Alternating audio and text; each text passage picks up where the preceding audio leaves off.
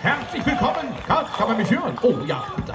Herzlich willkommen, liebes Volk, hier im schönen Rastede zur allerersten Märkenstunde des Nordens. Oh, weia.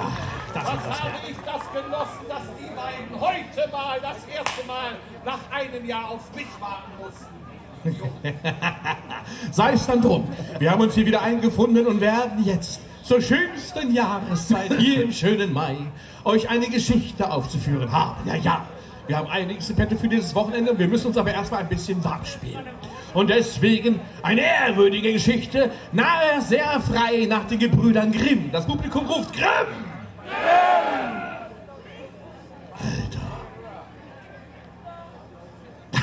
Nimm die linke Hand, du Vogel. Besser. Hier an der Städtin werden wir ein, eine formidable Geschichte aufführen. Sie handelt von Liebe. Guck mal, da laufen zwei. Hallöchen. Ihr kleinen Ferkelchen. Sie handelt von einem Königreich. Und sie handelt von Verrat. Und einem Mord. Moment, Moment, Moment. Also Ich muss, jetzt muss ich was ausprobieren. Liebe? Mord. Sag mal was. Ja, ich äh, würde gern, äh, ja, doch. Jetzt funktioniert's. Danke. Mach nicht, du stirbst ja sowieso. Jubel für die Technik! Also ich kann mich hören. Im Übrigen hier dieses Wochenende was ganz Besonderes. Noch nie so viele Tontechniker zugegen gewesen und die machen hier einen verdammt guten, guten, guten und harten Job. Ein Jubel für diese. Ah, schon wieder? Das hatten wir doch gerade. Sag mal, schleimst du jetzt die ganze Nein, Zeit? Das- nein, nein. Als du noch zu Hause an deinem Ding gespielt hast, hat ihr ja schon alles aufgebaut. Damit meint er den Was war das gerade? An seinem Was Auto. hat der gerade gesagt? An meinem Auto. Ah, Automatik. Also Automatics. Meine Lieben, wir werden eine Geschichte aufführen. Vielleicht hat der eine oder andere sie schon gesehen, aber doch nie mit diesem dort. Ich hab Angst. Jawohl. Aber bevor wir beginnen, wir brauchen noch Unterstützung. Rektus, wir brauchen eine Königin Eine und Königin. einen wehrhaftigen Stanzen jungen Knaben. Nicht zu jung. ah. Rektus, Bildet einmal eine Gasse, ich bin von Bedeutung. Hinfort mit dem Pöbel. Ah, eine Königin, hast du gesagt? Jawohl. Wie königlich soll sie denn sein? Mindestens 21. Oh, das bin ich, Entschuldigung. Werdet nicht nervös, ich stehe direkt vor der Box, ich bin der Idiot. Die Gemeinde jubelt mir zu. Für diese gnadenlose Ehrlichkeit, dass wir das Die Gemeinde ruft, zieh dich aus, Rectus. Zieh dich aus, Rektus! Nein, Ferkel. Nein, nein, Rectus, Was? Rectus, das ist verkehrt, das heißt zieh aus, Rectus, ganz weit weg. Guck mal hier die Kinder hinten. So, was brauchen wir denn Die wollen jetzt? dich auch nicht sehen, die kotzen. Wir hören den Hand. Wie heißt du, Carlos? Horst. Horst, wir werden den Horst nicht schlecht. Wir brauchen eine Königin. Die hat sogar schon eine Krone auf. Und wie einige von euch wissen, bin ich seit ungefähr zweieinhalb Stunden schockverliebt. Die Gemeinde jubelt, wir haben eine Freiwillige. Bist du bereit? Was brauchen wir noch? wir brauchen noch einen Knaben. Einen Knaben. Woher soll ich wissen, was hier ein Knabe und was ein Weib ist? Wir Katholiken kennen den Unterschied nicht. Wir haben ihn nie untersucht. Diese Hand hat noch niemals eine Sünde berührt. Das ist ja auch die linke. Wir brauchen einen Knaben, hat er gesagt. Von fiesem Charakter soll er sein. Scheiß. Ja, du siehst so aus, aber ich nehme dich nicht. Hier, ich habe hier ein Problem. Hier gibt es nur sehr hässliche Leute. Ja, es soll es, so soll es ja auch sein. Nein, nein, nein, Rectus, nimm einen, nehmen wir sowieso nicht. Rectus, nimm einen, dem es nicht schade ist. Ja. Um wen würdest du denn hier weinen wollen? Hier kommt, der ist echt kacke, den nehmen wir. Los, steh auf, Junge. Hast du gelacht, du Dussel? Dann siehst du vielleicht nie wieder. Hier geht's um Mord. Komm. Ja, nimm den! Nimm den! Sehr schön. Ja, warte, ich mach das mal kurz aus. Nicht nervös werden, Technik, ich mach's aus. Rektus hat sich ausgemacht, wir müssten ihn nicht hören. Das Publikum rastet auf! Wenn man mich hör, hören würde, wird's auch nichts ausmachen. Hallo, hallo, hallo. Oh. Technik, hallo. Es wird nichts ausmachen, wenn ich nicht brüllen müsste, sondern ganz normal sprechen. So ist es bravo, ja. Hier an der Stätte Und dann begrüßen... kommt er die Treppen hinauf. Er braucht ein bisschen dort mit der ein Meter größeren Königin als er selber, Bruder Rektus und seine mitgebrachten Mitspieler. Mein Güte, Kind. Sag einmal für die, die dich noch gar nicht gesehen haben, wer bist du, wo kommst du her? Lea und ich komme aus Osterholz-Scharmbeck. Lea aus Osterholz-Scharmbeck, Applaus. Und du armes Schwein, wie ist dein Name und wo kommst du her? Jan ist aus Neumünster. Jan ist aus Neumünster. Wunderbar. Ja, die Leute werden noch stärker applaudieren. Das ist eine besondere Rolle am heutigen Tage. Ähm, das werden wir gleich sehen. Stell dich schon mal hier zur Seite in den Schatten. Du auch, Kind, in den Schatten hin an. Danke dir. Und die Geschichte beginnt vor langer Zeit einst. Irgendwo in deutschen Landen, in französischen Landen, ist auch egal. Da gab es da einst zwei Brüder. Rectus. Carlos. Ja, dahin. Ich bin zwei Brüder. Hast du dein Mikro an? Ich bin auch zwei Brüder. Mein Mikro ist an, aber man hört mich trotzdem. Oh, nicht. Doch, jetzt man hört. wundervoll. Gebt Also Mühe, noch einmal. Ruhe jetzt darüber. Die zwei Brüder. Das Publikum sagt, oh. Der eine Bruder, er war jung und zart, gut aussehend, charmant, Und war ein bisschen wie Alea. War wie erlebt. Für euch der junge Bruder, Was, der? Wie der junge Alea.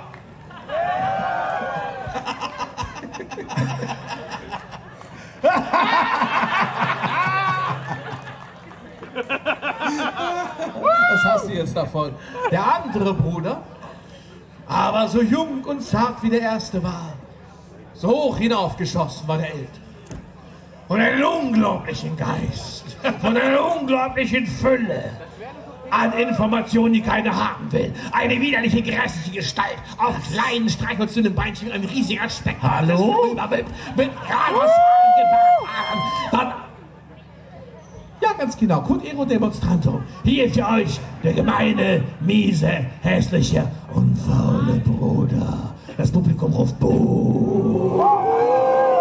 Kann man es, Eure Mutter! kann man es auch in ein Wort fassen? Kotzbrocken? Ganz genau. Du heißt ja schön Bruder mit Vornamen, deswegen passt das ganz gut. Und beide Brüder, sie hatten sich trotzdem irgendwo lieb und fast. Hatten wir nicht! Hatten sie doch! Hatten wir nicht! Schnauze! Also ich hab dich lieb. Und der kleine Bruder lief zum Großen hin an, sprang ihn an die Seite und umarmte ihn zart. Komm, wir haben gestern geübt. Weg mit dem Kreuz. Wie heißt das? Äh, ja.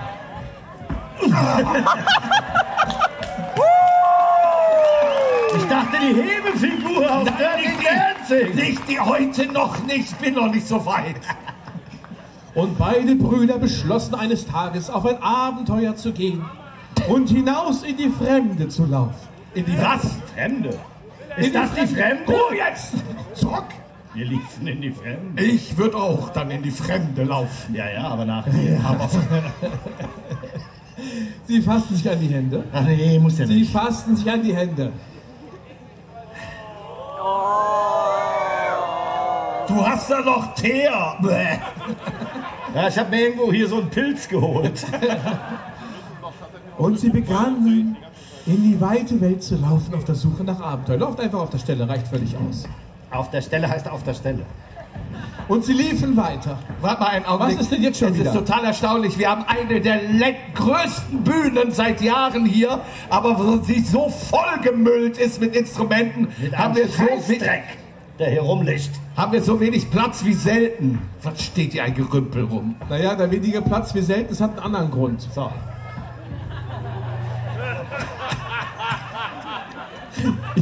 Habe etwas Beklemmung. Hast du gerade so laut gelacht? Stimme auf, Stimme auf, Stimme auf. Wer im Glashaus sitzt, Freundchen.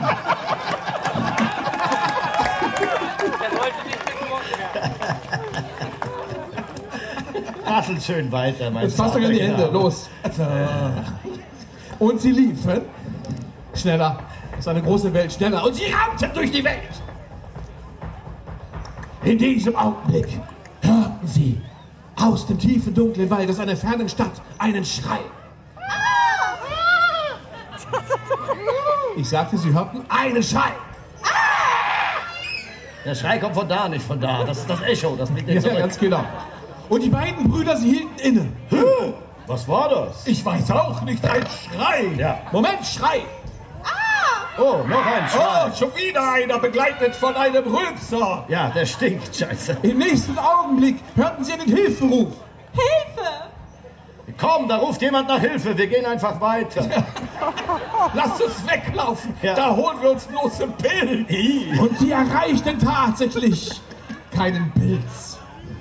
Sie erreichten ein großes Schloss. Das Publikum ruft ein Schloss.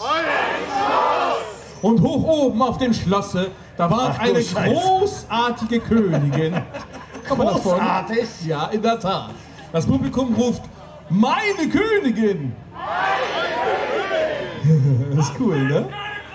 Tu die mal in die Mitte, die Königin. hierhin. Und das Kind, sie weinte, sie jammerte und klagte. Oh nein! Lauter, glaubwürdiger. Du brauchst ein Zepter für den Fall der Fälle. Nur heute Wir haben, das heult schon. ich sag dir, die beiden haben eine dicke Haut, die übertragen einiges. Und das Kind, es weinte, jammerte und klagte. Oh nein! Oh nein! Oh Gott! Das können sie alle, die Weiber. Sehr schön. Das war klassisches Overacting. Sofort, Nein, das war gut. sofort eilten beide Brüder hin und erblickten die schöne Königin. Ich sag, Stopp, stopp, stopp, stopp, stopp, stopp, stopp. Ich hab die zuerst. Moment, Ruhe. Und sie war so schön und so groß und nicht artig, dass beide vor ihr voll Inbrunst vor ihr auf die Knie fielen. Taten sie nicht. Taten die sie steht auf einer Fußball.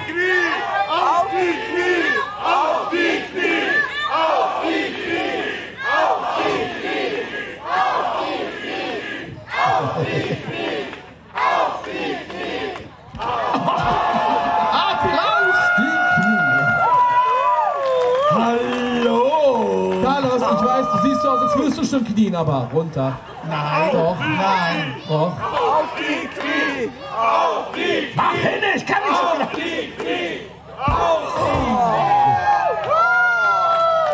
Hallo. Ey, Die haut uns jetzt ein. Und die Königin, sie sagte, Oh, ich Unglückliche! Ein wildes Tier! nein, das sage ich jetzt nicht. Was? Marodiert in meinen Wäldern! Äh, nein, äh, in In deinen Wäldern? das ist äh, verkehrt. Im, Im Königreich! Im Königreich? Ihr Deppen!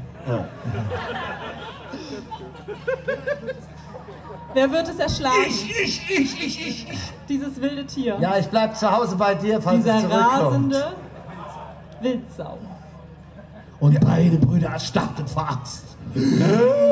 Eine rasende Wildsau. Eine rasende Wildsau. Und wie aus Zauberhand hörten sie eine Rückkopplung. Eine Rückkopplung. Und wie aus Zauberhand hörten sie mit einem Mal aus dem fernen Wald einen wilden Schrei. Hast du gefurzt? Nein, ich glaube, das war der Pilz. Hat die Königin gefurzt? Denkt dran, sind die Klatsche in der Hand, ihr beiden. Gibt es einen jungen Mann, der sich traut, gegen diese Wildsau anzukämpfen? Definiere jung. Definiere Mann. Stimmt mit dir nicht. Guck mal, da meldet sich wirklich der Dümmste Also und Hässlichste. Ruhe! Das ist Laserschwert-Soundtechnik.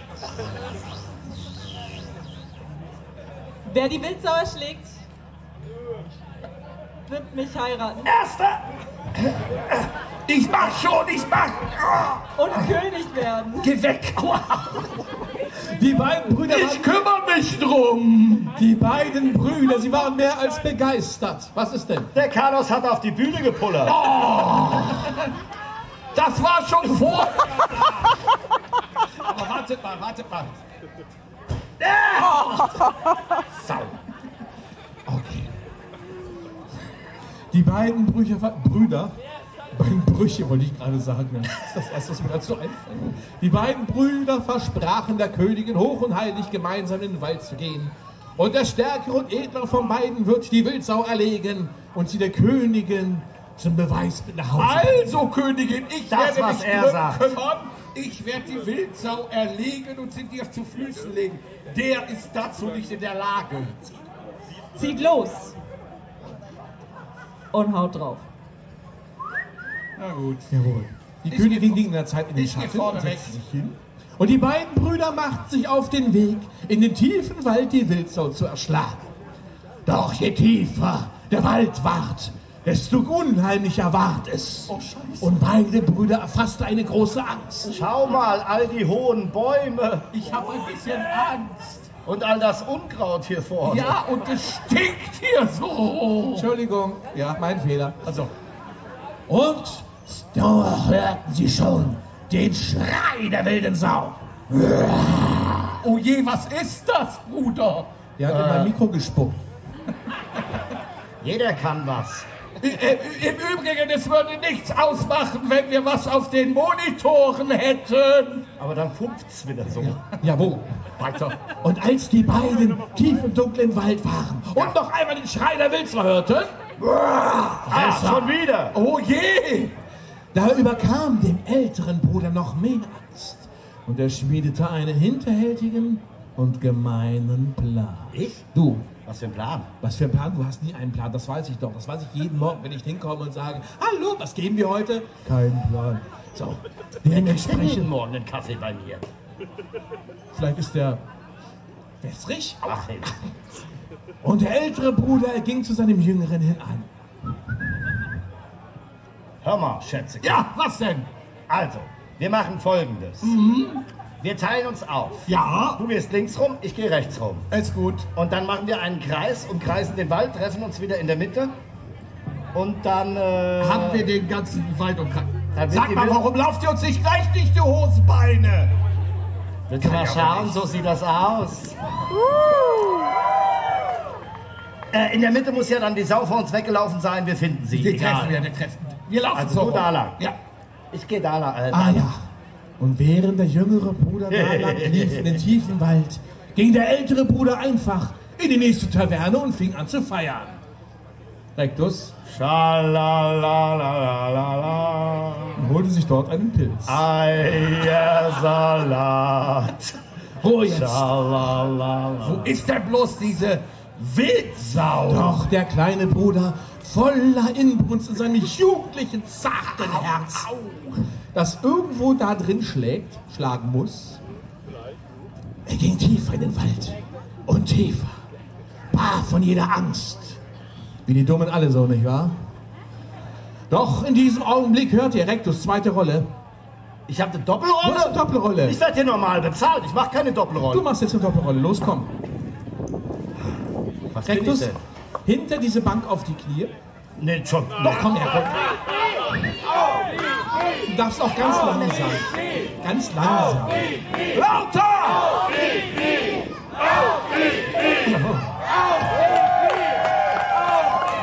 Kopf runter. Und da hörte der junge Mann einen Hilferuf. Hilfe, Dramatischer. Hilfe. Moment. Oh, was mag das Moment, sein? Moment, Moment. Hilfe! Geht doch! Sofort lief der junge Bruder zu dieser Stimme. Hilfe! Ich kann gar nicht definieren, wo, Was hast du denn sofort unter dem Wort wo kommt denn diese Stimme bloß her?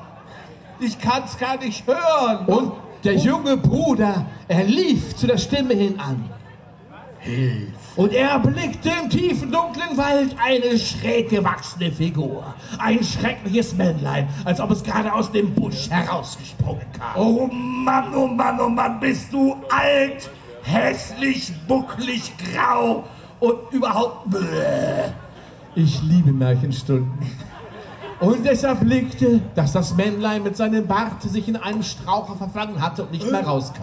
Oh, armer alter Mann, hast du dich mit deinem Barte etwa in einem Strauß verfangen? Aua. Und das Männlein rief, Hilf mir, junger Bursche, und ich werde dich reich entlohnen. Am besten ist, du verschwindest einfach. Lass los, Rektus.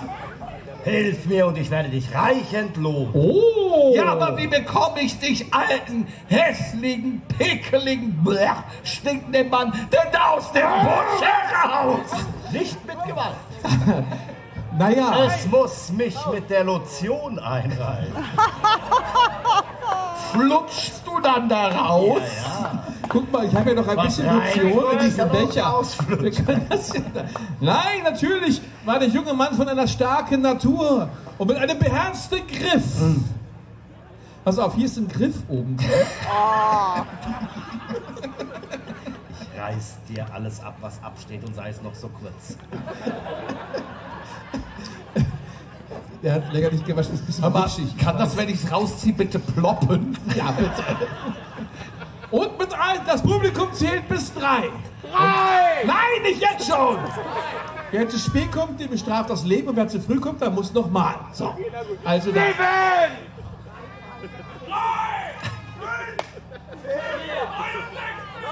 Warum lebst du eigentlich noch? Ist die Also mal drei!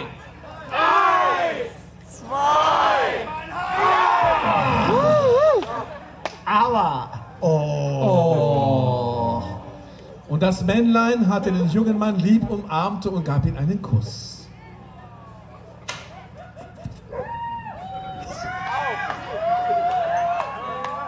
Muss das sein? Ja, Wann genau? jetzt.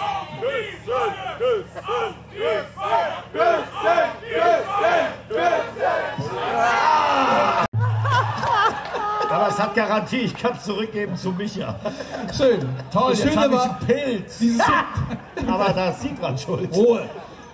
Das Schöne war, diese Szene kommt im Buch gar nicht vor, aber ich habe gedacht, ich baue es einfach mal ein. Und das Männlein, es war so begeistert und rief, hör zu, junger Mann. Ja, Ja, was denn? ja, du sollst eine Wildsau erschlagen. Hä, was? Das hat er doch von der Königin Ja, gesagt. ja, das weißt du aber auch, weil du bist ein Zaubermännlein. Ach so, ich bin ein Zauber. du bist ein Zaubermännlein, du musst mir Ich jetzt kann sagen, machen, dass die Luft stinkt.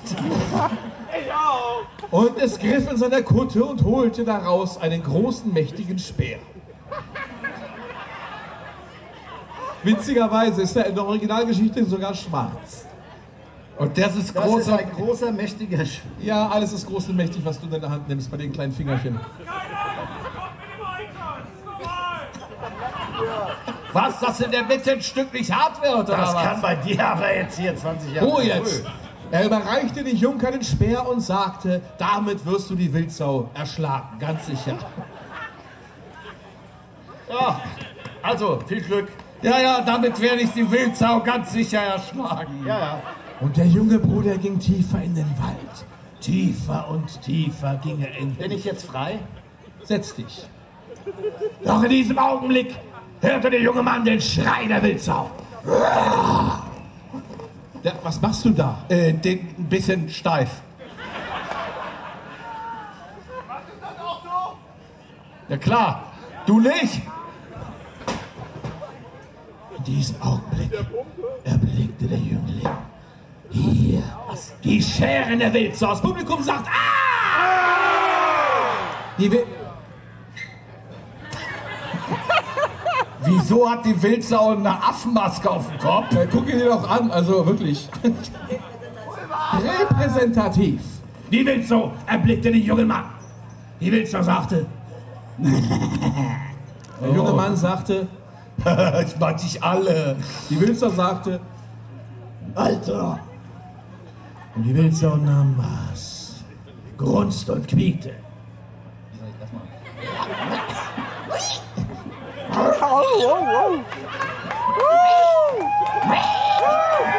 Das ist ein Naturtalent.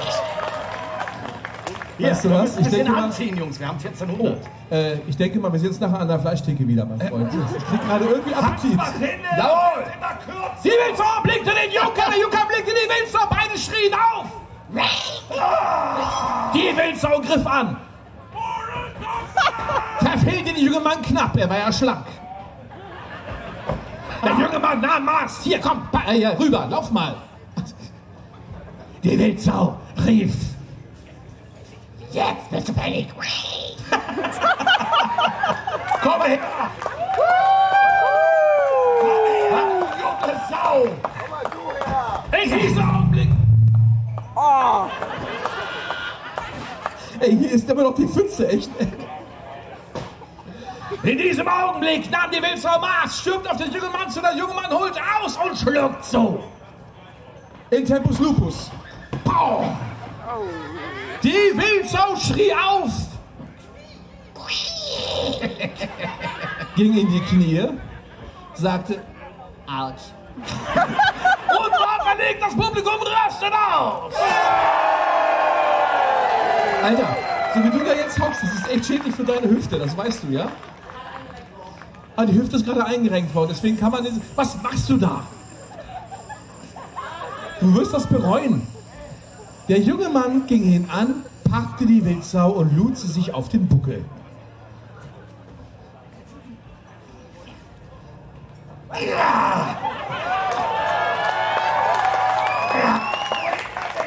Wohin genau? Stopp! Hierher! Du hast natürlich den Speer in der Hand. Das Publikum ruft, die Wildsau ist tot! Das hörte bei der großen Feierlichkeiten der ältere. Bruder. Was denn? Kann ich, ich werde sexuell belästigt. Das ist keine sexuelle Belästigung. Die sind so klebrig, da bleibt einfach alles dran hängen. Das ist so blöde Kuh. Also was mache ich? Du hörst den Ruf des Publikums. Was? Die Sau ist tot? Wo ist sie denn? Nein. Hier. Carlos! Du, lass doch nicht alles herumliegen. Ist ja wie zu Hause bei dir. Wo ist die Wildsau? Sau. Wo ist die Wildsau? Wo ist sie? Hol die Wildsau. Hol sie. Hol's, hol's, hol's, Komm, hol's. die hol's. Sau! Jawohl. Runter! Runter auf die Kniesau! Da ist sie ja! Und dem älteren Bruder wurde mit einmal klar, dass der Junge, anstatt drauf zu gehen, die Wildsau erschlagen hat. Er wird die Hand der schönen Königin bekommen. Heilige Scheiße. Bruder! Ja! Äh, ich gratuliere dir! Wozu überhaupt? Äh, du hast doch die Sau erschlagen. Ja, mit dieser Keule willst du auch eine? Nein, lass mal. Pass auf, äh, du musst jetzt nur noch die Sau zur Königin bringen und äh, die ist ja ein bisschen schwer. Also du musst sie nicht tragen. Ich würde sagen, du schleifst sie einfach hinterher. Aber ich helfe dir dabei, dass ich diesen Speer hier trage für Ja, gut, wunderbar. Ich muss jetzt also die Sau und das Mikro nehmen. Das Jawohl. wird ein Spaß. Komm, Sau, hier auf die Seite. Verdeckung runter, Und genau der so. junge Bruder voller gutem Glauben, dass sein älterer Bruder nichts Finsteres im Schilde führte, ging voran. Der ältere Bruder hinterher mit dem Speer in der Hand. Komm, Säuchen, komm, halte meine kleine den Rücken Sau. frei, Bruder. Komm, Schweinchen. Komm, wir gehen hier um die, einmal hier herum. Und jetzt gehen wir Moment. gemeinsam über die Brücke. Sie erreichten eine Brücke, wo ein kleiner Bach unter der Brücke floss. Und der junge Bruder, er nahm die Wildsau, der ältere Bruder hinterher. Das Publikum sagt, oh, oh, oh. Stopp, Carlos. Der geht da nicht noch mit drauf. Du guckst nicht nach hinten, du guckst nur nach vorne. Dein Herz schlägt nur für die schöne Königin. Die Kinder halten sich jetzt die Augen zu. Die Mü- Mütter halten sich die Augen zu. Kinder, was ihr jetzt ansonsten sehen würdet, könnt ihr auf jedem Schulhof gebrauchen. Und als der ältere, hässliche, gemeine Bruder sich in Sicherheit wiegte, holte aus und schlug zu. Aber nicht irgendwo hin. Nein, mitten ins Herz. Naja, hau drauf. Oh, was für ein Schmerz. steckt fest. Mitten im Herz steckt es fest. Sterbi! Au! Ja, ich sterbe. Ich sterbe. In den Bach. Ah, ich. Ah ja, das ist der Bach. Auch als der junge Bruder tief ins Herz getroffen im Bach zum Bache kam, da nahm sein älterer Bruder ihn und warf ihn hinunter in die tosenden Fluten. Achso, ich dachte, das wären die Fluten. Na, ich dachte, das Ja, besser, so, sonst sieht ihn ja keiner mehr. Den soll auch keiner mal sehen. Reicht ja schon, wenn man dich sieht. Achso, gut. Und der Bruder versank in den Fluten. Das Publikum sagt, oh, Das ist die tote Sau. Hier ist das Mordwerkzeug. Dazwischen befindet sich derjenige, der gleich die Königin heiratet. Und ich werde es nicht beim Heiraten belassen. Und da erwartete schon die Königin den jungen Mann. Doch was erblickte sie? Der alte Bruder mit der Wildsau in der Hand und einem scherenden Instrument des Todes. Sie rief, Oh weh, der Junge ist wohl gestorben. Ich muss mich ja wohl an mein Wort halten. Da läuft noch eine Wildsau. So ist das eben. Und sie nahm mit schweren Herzen den älteren Bruder bei der Hand und heiratete ihn. Das Publikum sagt, oh, Na, na, na, na, na. die Wildsau ab in den Schatten. Hektus, Königin, ab in den Schatten. Ab in den Schatten, Königin. Doch, so wie es kam, Ist gut, oder? Nach einiger Zeit kam zufälligerweise ein junger, gut aussehender Schäfer vorbei. Ich bin ein junger, gut aussehender Schäfer. Das Publikum darf sich übergeben. Und dieser kam zu dieser Brücke. Er blickte hinunter und er blickte unten am Ufer einen kleinen Knochen. Nicht solide. Er blickte unten einen kleinen Knochen liegen. Da unten liegt auf der Palette vor der Bühne ein kleiner Knochen. Er schnappte sich den Knochen Ich schnapp mir den Knochen. und baute sich daraus eine Flöte. Ich baue mir daraus aus einem Knochen. Ja, Möchtest du rauchen? Und als er ansetzte, aber wie wunderte er sich, als er ansetzte, da fand die Flöte eine Stimme. Die Flöte sang, La Oh du mein, mein Hirtelein, du bläst auf meine Knöchelein. Mein Bruder, der hat mich erschlagen, hat mich im Flusse begraben, um das wilde Schwein für des Königs Töchterlein. Es darf jetzt applaudiert werden. Naja, meine Lieben, ich erzähle euch jetzt mal ganz kurz, wie die Geschichte eigentlich endet und warum ich sie jetzt ändern werde. Es ist so, der Junker, er lief hin, hörte von dem Verbrechen, er wusste sofort, was geschehen war, lief zur Königin hin an, spielte ihr das Lied vor, die Königin ward voller Wut, nahm ihren Ehegatten, ließ ihn erschlagen und im Flusse begraben, bettete die Knochen des jungen Mannes auf einen edlen Friedhof. Ist das eine Geschichte? So hey, würde die Geschichte enden, wenn ich der Hirte gewesen wäre. Aber ich war nicht der Hirte, sondern dieser Spanier. Und dann kam nicht dieses Lied heraus, sondern La cucaracha, la cucaracha, ya no puede caminar porque no tiene, porque la falta las patitas de atrás. La cucaracha, la cucaracha, ya das Publikum ruft ein Verbrechen. Der Junker ruft ein Verbrechen. Ein Verbrechen. Ja, dieses Lied ist ein Verbrechen. Denn er lief sofort zur Königin hin an. Königin, komm mal her. Hä? Wieso das denn? Ja, wo? Komm einmal an. Hallo Königin. Und die Königin rief, was möchtest du? Was möchtest du? Ähm, mit dir La Cucaracha singen. Und der Junker nahm die Flöte an die Lippen und spiel, spielte und rief dabei das Lied. Ai, ai, ai, ai, canta ino iore. In diesem Augenblick ruft die Königin, Ah!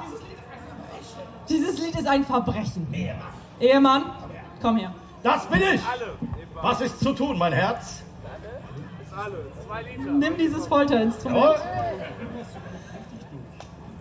Und prügel den mal richtig durch. Nehmen ihn oder euch? ihn.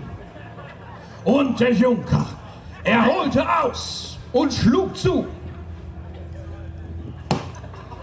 Au! Der Hirte schrie auf. Aua! Nahm seine Beine in die Hand und lief auf und davon der Junker hinterher und schlug immer drauf. Der haut mich nicht. Au! Au! Jawohl, so ist recht. Au! Au! Au! Au! Und dabei geschah Folgendes. Danke, es reicht. Dabei geschah Folgendes. Der ältere Bruder hatte eine solche Lust auf Prügeln bekommen, dass er auf den armen Hirten einschlug, der den Bein in die Hand nahm, in die Ferne lief, der ältere Bruder hinterher und die Königin alleine zu Hause rücklie- zurückließ. Das Publikum sagt, oh. Die Königin hatte nun keinen Mann mehr und weinte bittere Tränen. Doch in diesem Augenblick entdeckte sie einen gut aussehenden Geschichtenerzähler, in den sie sich verliebte. Sie heirateten und gründeten zusammen ein neues Königreich. Danke, Gemeinde! Hier die Geschichte von den zwei Brüdern. Dargestellt von jemand anderem als älteren, gemeinen und hässlichen Bruder. Einen Applaus für Bruder Rectus. Der junge einfache Bruder an das Städten, gut aussehend, aber trotzdem in die Jahre gekommen. Niemand anderes als Don Carlos. Ach so, ich. Zu unserer Rechten, zu eurer Linken, wahrlich. Er ist die einzige Wildsau auf dem Platze. Wenn er sich als solches bezeichnen kann, dann ist er die Erste auf dem Platze, die Wildsau. Na, du Sau. Und last but not least, Namen sind Schall und Rauch. Ich habe deinen vergessen. Wie heißt du noch? Lea. Stimmt. Vorstellen, mal irgendwann El Hamami zu heißen? Und ob du Lea heißt. Als Königin. Und als der einzige Pilz, den jeder gerne zu Hause hat. Lea! Aber nicht zu vergessen, last but not least, möchten wir einen edlen Mitspieler noch einmal ankündigen. Er war schon alles gewesen. Er war ein Schloss, er war eine, was, eine Burg, er war ein Meer, er war eine Wand und heute war er. Was war er eigentlich? Die Brücke, ganz genau. Für euch die Bank.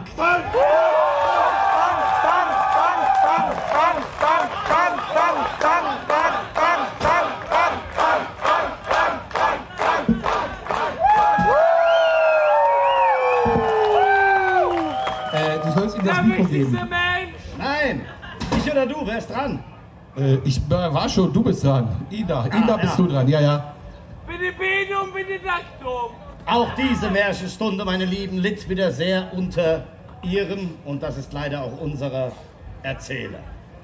Es ist dies, der blauäugige Wal gestrandet in der Leine von Hannover. Lob. Der Müllschlucker das Herrn. Der Drecksack, dem die Weiber vertrauen. Der Stinkende.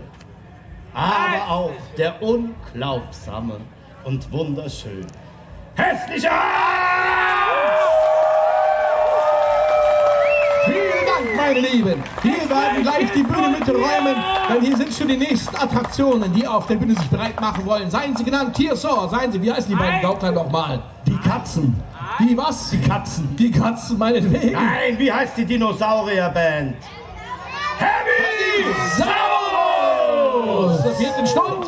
Wir Frag werden, doch mal die Kinder. Wir werden uns hier vom Acker machen. Wir sehen uns nachher wieder beim Bruchenballturnier drüben am Kampfplatz zur späteren Stunde noch einmal zur Gewandungsprämierung. Und somit wünschen wir euch an diesem Tage noch alles Erdenkliche, auch Gutes. Dankeschön.